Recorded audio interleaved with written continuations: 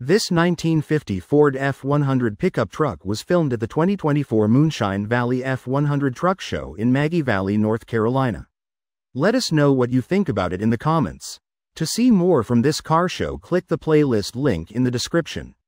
Please give us a thumbs up. Subscribe for free to our YouTube channel to see all of our upcoming videos. As always, thanks for taking the time to watch our videos.